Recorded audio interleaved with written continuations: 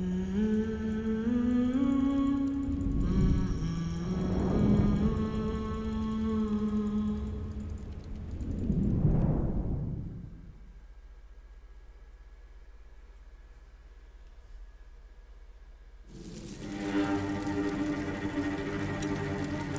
Seid gegrüßt, ihr Abenteurer, und willkommen zu einem hoffentlich sehr, sehr interessanten Let's Play. Wir spielen A Plague Tale Innocence. Ein wahrer Überraschungskracher aus dem letzten Jahr. Niemand hatte dieses Spiel vorher so wirklich auf dem Schirm. Es wurde entwickelt von einem Studio, das ich vorher auch überhaupt nicht kannte, Asobo Studio, und gepublished das Ganze von Focus Home Interactive. Und zwar 2019 im Mai. Mm, es hat sich ziemlich schnell, wie gesagt, als wahrer Überraschungshit herausgestellt. Viele Leute haben es positiv rezensiert, egal ob ähm, ja, professionelle von irgendwelchen Spielmagazinen oder eben auch das äh, Publikum. Und deswegen habe ich mir gedacht, schauen wir uns dieses Spiel doch mal an. Uns wird ein äh, sehr interessantes Setting erwarten. Und zwar spielt das Ganze im, Frank im Frankreich des 14. Jahrhunderts. Man kann sich vorstellen, die Pest, äh, der schwarze Tod grasiert in den dörflichen Regionen und auch in den Städten. Überall haben wir es, wie man hier schon sehen kann, mit Rattenplagen zu tun. Eine Inquisition, die wirklich hart durchgreift. Ähm, auch nicht davor zurückschreckt, eben infizierte Menschen zu töten, um die Seuche einzudämmen. Und inmitten dieses Chaos spielen wir ein junges Geschwisterpaar, das aus mysteriösen Gründen ähm, gejagt wird. Und wir werden herausfinden, was da eigentlich los ist. Und dafür ein neues Spiel beginnen. Ich war einmal kurz im Hauptmenü, deswegen hat er mir hier diesen Speicherstand schon angelegt. Ansonsten ist das Spiel noch völlig ungespielt. Und deswegen bin ich mehr als gespannt, wie sich das Ganze spielen wird. Es soll wohl so ein bisschen Action-Adventure-mäßig sein. Wobei das Action wahrscheinlich eher klein geschrieben ist. Denn da wir kleine Kinder spielen, beziehungsweise relativ junge Charaktere, können wir jetzt nicht von einem ausgeklügelten Kampfsystem ausgehen oder sowas. Aber das muss auch nicht sein, um ein packendes Spielerlebnis zu bieten. Denn das Storytelling in diesem Spiel soll fantastisch sein. Audioausgabe, Soundbar, das ist alles normal. Äh, Hardvoreinstellungen, Standard. Das normale Spielerlebnis. Alle Anzeige- und Oberflächenelemente werden eingeblendet. Ich würde sagen, das ist okay. Ich meine, das ist ja hier sehr, sehr dezent. Also Nichts, was mich stören sollte. Legen wir los.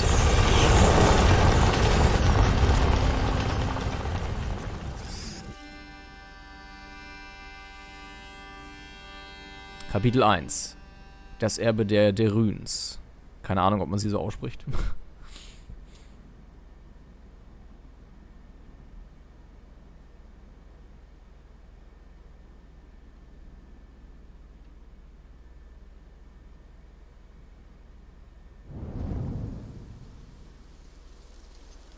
Königreich Frankreich. Du trödelst, Amicia. Wie willst du denn den Herrschaften bei der Jagd folgen? Das sind also deine Pläne für mich? Ich soll folgen? Ich werde voranreiten und sie Staub schlucken lassen. Aber dafür brauche ich ein gutes Pferd. Du drängst mich schon so lange zu diesem Spaziergang. Warum hier? Der Baum. Welcher Baum? Der Apfelbaum, Vater. Ich möchte die Ritterprüfung nochmal absolvieren. Den Ritterschlag? Aber du bist keine zehn Jahre mehr, Amicia. Oh, bitte, Vater. Ich habe mich gut darauf vorbereitet. In Ordnung. Dann mal los. Wir spielen also als Amicia. Sie ist 15 Jahre alt und Tochter von diesem Robert de Rune, de Rune, de Runes, keine Ahnung. Hoffentlich wird der Nachname im Laufe des Spiels nochmal irgendwie ausgesprochen, damit ich sehen kann, wie das Ganze funktioniert, wie man das ausspricht. Was haben wir da denn hier? Können wir unseren Hund hätscheln? Sieh dir mal Leon an. Das Raubtier aus Guyenne strotzt vor Kampfeslust. Dein Raubtier denkt wie immer mit seinem Magen. In der Hinsicht ist es dir nicht unähnlich. Vorsicht, Fräulein. Also grafisch gefällt mir das Ganze auf jeden Fall schon mal. Es hat eine schöne Stimmung. Genauso wie die musikalische, dezente Unterma Untermalung. Los, Leon, du wirst Beute finden. Ich glaub an dich. Mach dir keine allzu großen Hoffnungen. Lass uns weitergehen. Wo genau werden wir jetzt eigentlich hingeführt? Da bin ich mal gespannt drauf. Und es soll in diesem Spiel wohl auch Collectibles geben. Ich weiß jetzt allerdings nicht, ob ich hier schon welche verpassen kann. Ich glaube aber, Sieh mal, so fies ist das Spiel die nicht. Schleife deiner Mutter ist immer noch da. Hier habe ich ihr den Hof gemacht. Ja, Vater. Ich weiß. Wenn sie doch nur mitkommen könnte. Vielleicht hat sie die Pest erwischt. Wir werden es Wir sehen. haben alle unsere Verpflichtungen, Amicia. Du, du weißt, in einer Familie... Hey, ich versuche dir etwas zu sagen. Welch große Autorität, Ritter Derun. Na los, und bring zur Abwechslung mal etwas zurück. Also, wo war ich gerade? Wir alle haben Verpflichtungen. Ich verwalte diese Ländereien, deine Mutter kümmert sich um deinen Bruder und du? Ich bekomme dich kaum zu Gesicht. Von Mutter ganz zu schweigen. Hör mal. Jetzt sind wir doch zusammen. Folge mir, Töchterchen. Hey, warte. Ich hoffe, du hast die Schleuder dabei. Natürlich. Er wird also Derun ausgesprochen. Also ganz standardmäßig. Also dann, Und offenbar sind wir adlig. wagst du es, das Tor der Prüfung zu durchschreiten? Amicia Derun kennt keine Angst. Das Tor der Prüfung. Dieser Apfelbaum wurde zu deiner Geburt gepflanzt. Er wird zeigen, was in dir steckt. Werter Ritter, wie lauten die Regeln der Prüfung? Die heiligen Äpfel des ähm, heiligen Apfelbaums wurden vom großen Bösen verdorben. Wenn du sechs der verdorbenen Äpfel zerstörst, bis ich bis zehn gezählt habe, schlage ich dich zur Retterin. Ich nehme die Herausforderung an. Da drüben neben dem Stamm liegen ein paar Steine. Hol sie und gib mir Bescheid, wenn du bereit bist. Das Erbe der Deruns. Es, das finde ich interessant, also das Tutorial mit so ein bisschen Storytelling zu verbinden, um die Charaktere auch kennenzulernen. Das ist eine witzige Idee. Was haben wir hier? Diese Steine, die wir aufheben können. Bereit. Sechs Beweise Stück. dir, dass ich kein Kind mehr bin. Gut, komm zurück. Stell dich hinter diesen Stamm. Von dort wirst du schießen. Alles so klar, Pap. Halte gedrückt, um mit der Schleuder zu zielen. Dann mal los. Halte gedrückt, um die Schuss bereit zu machen. Lass wieder los, um zu schießen. Boom. Eins, zwei, drei, vier, fünf. Weiter so, Amicia. Sechs, sieben, acht, Und so wurde aus Amicia eine wahre Ritterin. neun. Da. Knapp. Sieh mal eine an. Ich bin wirklich beeindruckt. Aber deine Schleuder ist schrecklich laut. Er war ein Geschenk. Von dir. Oh ja, hatte ich fast vergessen. Meine Güte, was hat er denn? Oh. Er hat wohl einen Hasen gerochen. Hinterher, schnell. Lauf schon vor. Ich komme nach. Du bist viel schneller als ich. Folge Leon. Wirklich einen Hasen? Oder etwas anderes? Halte zum Rennen Umschalt gedrückt. Ja, das ist äh, standardmäßige Steuerung, wie man es kennt. Warte auf mich. Uah.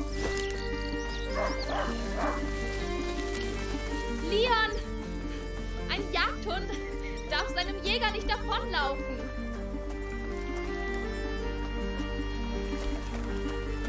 Leon. Wo ist er hin?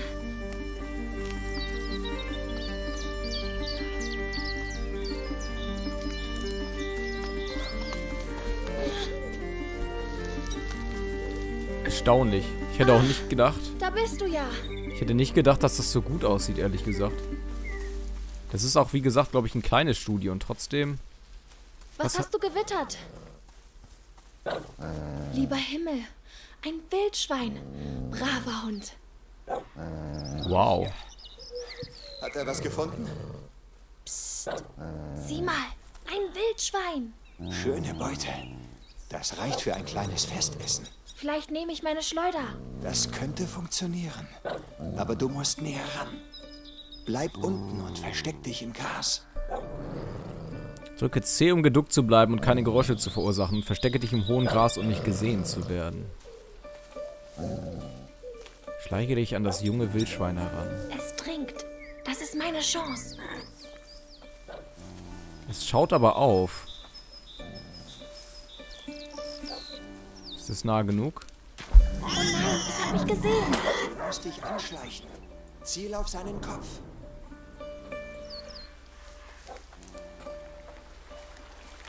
Ich muss näher heran.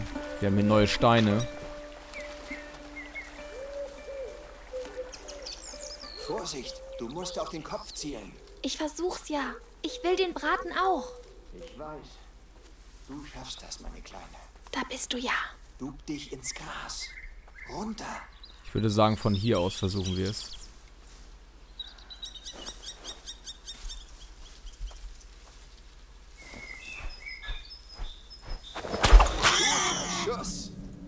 Lässt dich der Hunger immer so genau zielen? Ha. Der Braten ist dir doch noch nicht serviert. Nein, nein, nein. Schnell, Leon. Nicht die Spur verlieren.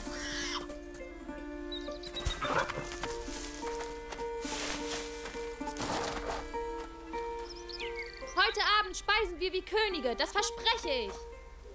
Daran zweifle ich natürlich nicht. Nicht aufgeben, Leon. Wenn wir so tief in den Wald Komme, gehen, Leon. Wenn du es aufhältst, bekommst du auch ein schönes Stück. werden wir uns ziemlich sicher verirren, ehrlich gesagt. Oh nein. Meine Füße werden einsinken. Okay, da können wir nicht rein. Wir müssen einen Umweg suchen. Das Wildschwein. Es blutet. Ich hoffe, das ist Wildschweinblut. Und nicht von etwas anderem. Er bellt nicht mehr. Er muss es gefunden haben. Ich bin mir da nicht sicher, denn die Atmosphäre wird gerade sehr bedrohlich.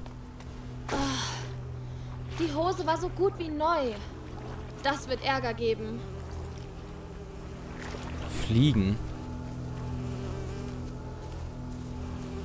Die Bäume. Wer war das? Leon, komm her! Leon? Was? Das ist das Wildschwein. Aber Leon war das bestimmt nicht.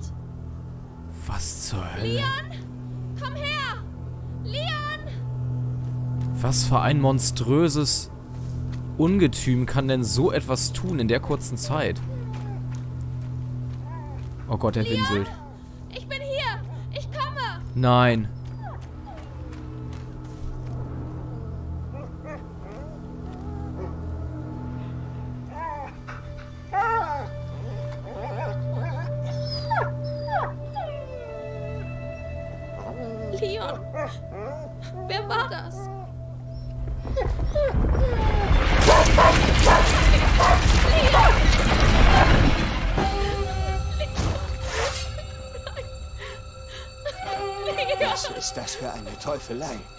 Wir müssen weg. Sofort.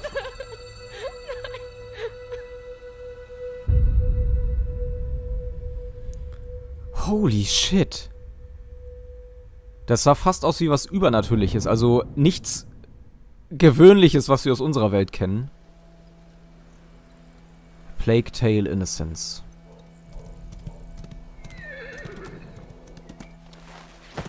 Ich werde eine Jagd organisieren. Geh zu deiner Mutter. Ich muss mit ihr sprechen. Sie kümmert sich. Ganz sicher um Hugo. Ja, natürlich. Amicia.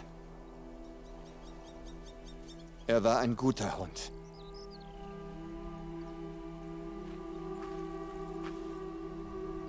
Wo sind die Bolzen zur Verstärkung der Tür? Ich habe sie noch nicht fertig. Hast du gehört, dass die englischen Truppen unterwegs sind? Ah, Wir können uns jetzt hier ein wenig umsehen. Hugo ist unser Bruder. Können wir hier vielleicht irgendetwas entdecken? Ich will mich hier, wie gesagt, auch so mal ein bisschen umschauen. Vielleicht auch in den Häusern hier. Schweinchen. Hallo. Umso dramatischer, dass wir dieses Wildschwein gar nicht gebraucht hätten, denn wir leiden ja keinen Hunger. die neuen Bolzen müssen warten. Gibt es eigentlich Neuigkeiten aus der Stadt?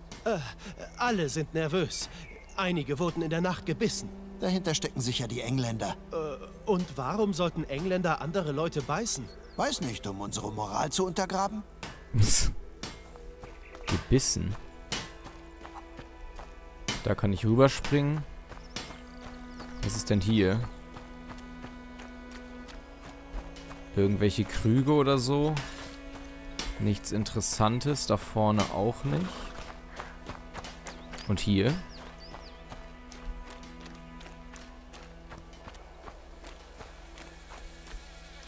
Bienen? Oh, Mademoiselle Amicia, ihr seid zurück. Theo, es gab einen Notfall. Hol die anderen und sprich so schnell wie möglich mit meinem Vater. Sehr wohl. Oh, ich, ich habe ein paar Ziele für eure Schleuder hinter den Ställen aufgehängt. Oh, ähm, danke. Nett. Also wir scheinen hier zumindest beliebt zu sein. Und keine so verhätschelte Fürstengöre oder sowas. Ist ja ganz oft so. Dass die ein sonderbares äh, Verhalten an den Tag legen. Da bist du ja. Ich habe dich überall gesucht. Meine Pfeife. Drücke I, um mehr zu erfahren. Geschenke. Amicia hat diese Terrakotta-Pfeife für ihre erste Jagd von ihrem Vater geschenkt bekommen. Pfeifen wurden schon von unseren Vorfahren als Instrumente und Spielzeuge verwendet. So ermöglichten sie zum Beispiel auf der Jagd, aber auch in Kriegszeiten das Koordinieren von Aktionen größerer Gruppen. Und interessant, dass das auch das erste hier in der Reihe ist. Das heißt, wir haben wohl nichts verpasst, nehme ich mal an. Gibt es noch andere Optionsmenüs? Also aktuell kann ich nur dieses Menü, Menü öffnen. Mal sehen, was da noch dazu kommt. Wir werden auf jeden Fall erstmal wieder runtergehen. Ich finde auch von den Animationen und so sieht das eigentlich nicht so aus, als wenn das von einem kleinen Studio mit geringem Budget gemacht worden wäre. Also es ist eigentlich alles ganz, ganz gut so. Ist echt nicht schlecht. Hier ist ein Mademoiselle Amicia. Lambert.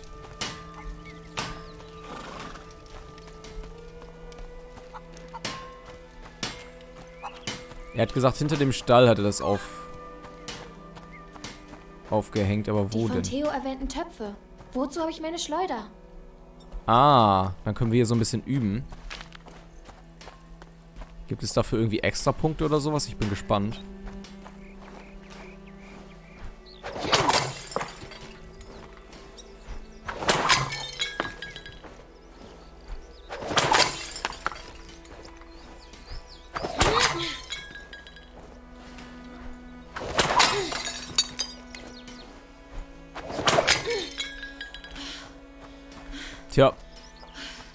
Und der fürstliche Töpfermeister wird auf jeden Fall wieder einen Tag zu tun Leon, haben. wäre ich nur schneller bei dir gewesen. Was auch immer dir das angetan hat, ich hätte es getötet. Da bin ich mir nicht so sicher. Es ist wahrscheinlich besser, dass du nicht da warst. Oh, Mademoiselle Amicia, wie war der Spaziergang? Später, Flor. Sag den anderen, dass sie vorerst nicht in den Wald gehen sollen. Äh, ja, ich äh, werde es ihnen sagen. Oratio Sancti Sebastiani, beschütze uns vor dem Bösen, schenke uns ewige Gesundheit und halte die Pest von uns fern.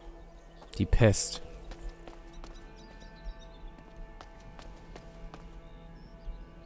Ganz normaler Bediensteter. Können wir hier beten? Nimm Leon zu dir, bitte. Er verdient einen Platz an deiner Seite, auch wenn er manchmal ziemlich frech ist. Ich hoffe, du hast ihn nicht wegen mir bestraft. Das hoffe ich auch nicht. Das können wir nicht aufheben. Hoffentlich ist Mutter nicht zu beschäftigt. Das gute Wetter wird sich nicht halten. Der Regen hat schon die Ernte ruiniert. Leute verhungern. Wir haben Glück, in diesem Haus untergekommen zu sein. Da hast du recht. Unterhält er sich mit seiner Gans? Gabrielle, ist Mutter oben? Ja, sie war die ganze Nacht oben. Der Kleine hatte wieder einen seiner Anfälle. Sie wird sicher keine gute Laune haben. Anfälle? Also scheint unser Bruder krank zu sein. Hallo? Na, kein Grund in die stille Ecke zu gehen. Okay. Mit mir will die Gans nicht reden, das ist schade. Wir wären sicher gute Freunde geworden. Außerdem brauche ich ein neues Jagdtier.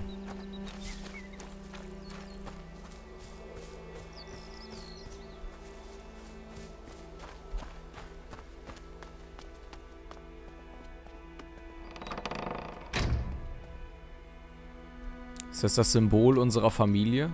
Der Baum? Schauen wir uns ein wenig hier um. Hast du gehört, was im Dorf passiert ist? Leute wurden gebissen, sogar Kinder. Ist das zu glauben? Es geschieht immer nachts. Als wären Hunger und Krieg nicht genug. Jetzt auch noch Vampire. Wir müssen gesündigt haben, um so bestraft zu werden. Oh, Mademoiselle Amicia, ich habe euch gar nicht gesehen. Hallo, guten Tag. Hallo. Tja, dann hört mal lieber auf zu lästern hier. Aber Vampire? Also ich kann mir halt nicht vorstellen, dass das Spiel so in die total übernatürliche Schiene abdriften wird. Dafür ist ja auch das Setting viel zu... Ja, ich meine, es ist ein geschichtsträchtiges Setting. Ein echtes Setting. Von daher, ich bin gespannt, ob das jetzt wirklich was Übernatürliches ist oder ob das halt irgendein Tier war zum wärmt mir Beispiel. das Herz. Es ist nichts Besonderes, aber es wird dir schmecken. Also mir bestimmt. Ich meine, es kann ja zum Beispiel auch sein, dass es Rattenbisse sind. Und dass äh, die Ratten quasi äh, die Pest verbreiten oder sowas. Also, ich meine, wir, wir werden es sehen. Wir werden sehen, in welche Richtung das geht. Auf jeden Fall diese schwarz, schwarze Schmiere, die wir gesehen haben im Wald, das war schon beängstigend. Da haben wir noch etwas. Zimt. Ich hatte diesen Geruch fast vergessen. Gut, dass sie ihn versteckt haben. Vater hätte ihn für jedes Gericht benutzt. Okay, wohl ein relativ teures Gewürz zu der Zeit. Äh, Gewürze sind nur in ganz bestimmten Küchen zu finden, da sie aufgrund ihrer Seltenheit sehr teuer sind. Darüber hinaus ist die Bevölkerung davon überzeugt, dass die Elemente einer bestimmten Hierarchie unterliegen, die durch ihre Nähe zum Göttlichen bestimmt wird. Feuer herrscht über Luft, die sich über dem Wasser befindet, das wiederum die Erde bedeckt. Gemüse, das im untersten Element wächst, ist demnach für die Ärmsten bestimmt, während Vögel, die am Himmel ihre Kreise ziehen, normalerweise auf den Tellern der Adligen landen. Das ist ja auch ein interessantes Konzept. Können wir hier auch runter... Wir können nicht runterfallen. Okay.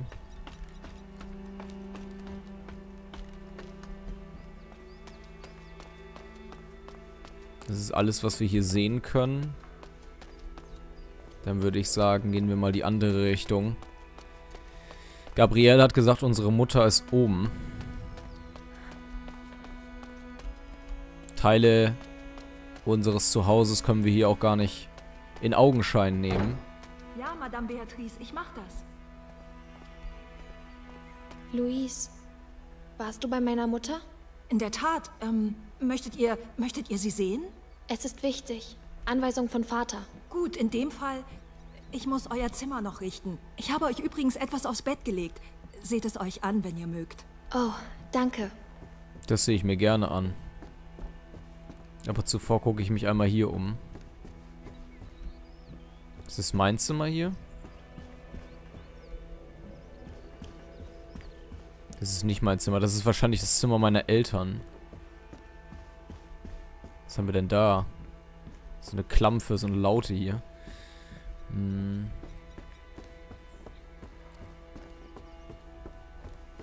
Das ist mein Zimmer. Der Kamin ist sogar an. Ach, Leon. Was soll ich ohne dich nur machen? Das ist sein Platz gewesen.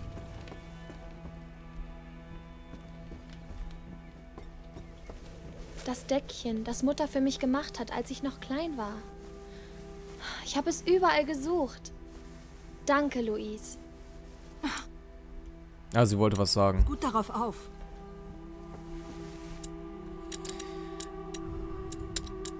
Handgewebte Deckchen werden gern mit Spitzen verziert und vorrangig zum Schutz der Tische von heißen Töpfen und Schalen verwendet. Dieses Deckchen ist mit Familienwappen verziert, ein traditionelles Muster, das junge, wohlerzogene Mädchen zu sticken lernen. Ah ja. Komisch, dass es unter Kuriositäten und nicht unter Geschenk aufgeführt wird, aber... Aber naja. Reden wir mit meiner Mutter und Hugo.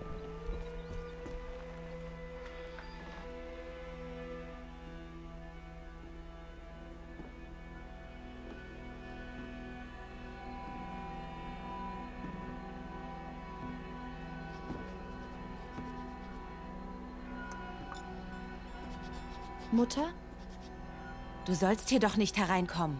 Ja, aber etwas hat Leon im Wald angegriffen. Ich würde mir deine Abenteuergeschichten wirklich gerne anhören, doch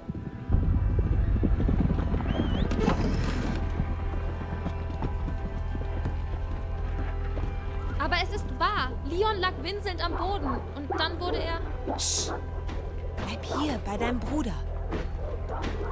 Was? Warum? Was geschieht Schließ die hier? Tür hinter mir und öffne nicht die Fensterläden, egal was geschieht. Aber Hugo... Er ist nicht ansteckend. Ich weiß, du kennst ihn kaum. Aber das macht nichts. Vertrau mir, Amicia. Ja, Mutter.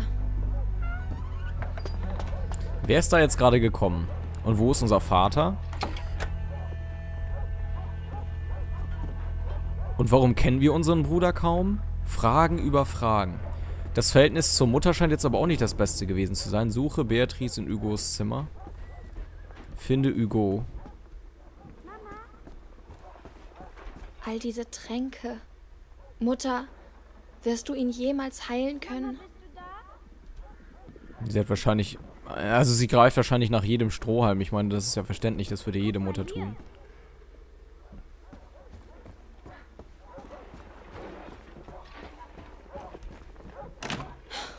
Verschlossen. Von dieser Seite aus sind wahrscheinlich alle Türen verschlossen.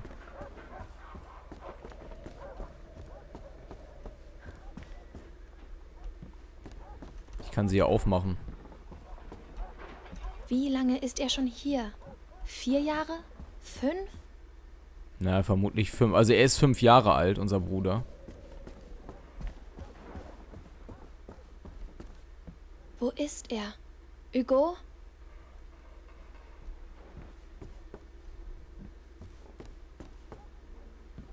Wirklich, wo ist er? Und warum ist sein Zimmer so viel größer als meins?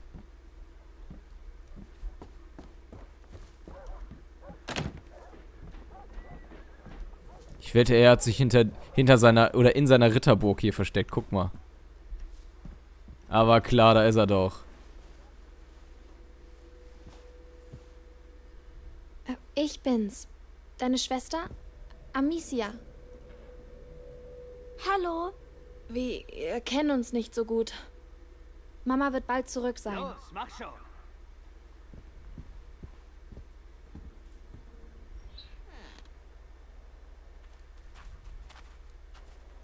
Hat er gesungen? Nein, Senor Nicolas.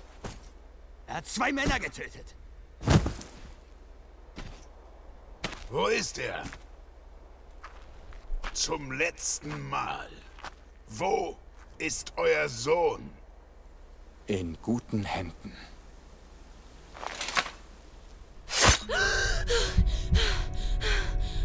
Durchsucht das Haus.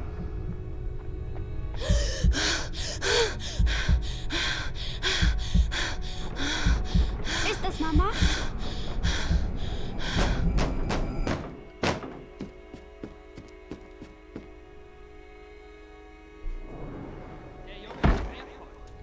Komm her, Hugo. Hugo, komm her. Was ist denn? Psst. Ich weiß, dass du hier bist, Kleiner. Ich habe keine Zeit für Spielchen. Zum Glück ist er sie versteckt. Bleib unten. Hugo, ich bin's, Gabriel. Komm schnell her. Hey du, was zum Teufel treibst du da? Na Wo los. ist der Kleine? Hä? Die Klappe. Das Kind geben soll. Er gehört der Inquisition. Oh nein. Näher. Hört auf. Das wird dich lehren. Nein. Ich flehe euch an. Hugo ist nicht hier. Hey du! Komm schon. Sag es nicht noch ein. Nein. Hugo! Warum wollen sie meinen Bruder? Los? Mutter. Ich muss Mutter finden. Sie wird es wissen. Wenn sie noch lebt. Wenn sie überhaupt noch lebt. Oh mein Gott. Luis. Ist dir etwa Spaß, mich so durch die Gegend zu scheuchen? Bitte. Alter, Jammer. Wir müssen, wir müssen weiter. Nicht hinsehen. Dienen einer höheren Macht.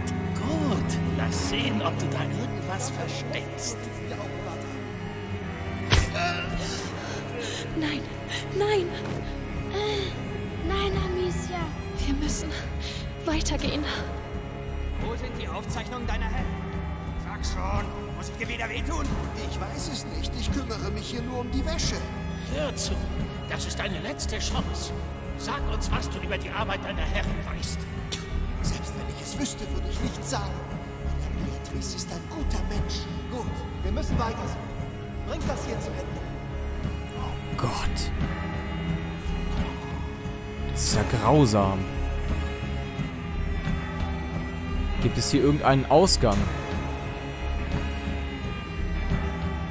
Hier.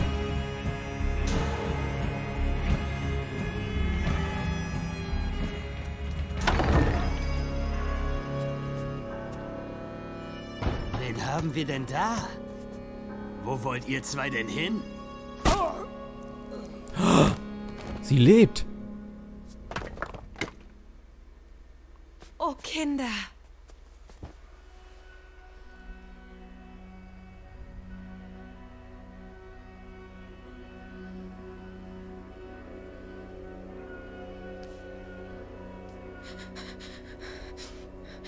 Was geschieht hier? Alles wird gut. Hört ihr? Kommt mit mir. Sie lebt tatsächlich. Das hätte ich nicht erwartet. Hugo, nimm die Hand deiner Schwester. Ich gehe zuerst und ihr folgt mir einfach. Verstanden? Was könnten sie mit unserem Bruder wollen? Wir das ist die durch Frage. Gärten. Amicia, nimm deinen Bruder an die Hand und folge mir. Aber leise, ja? Ja, ja.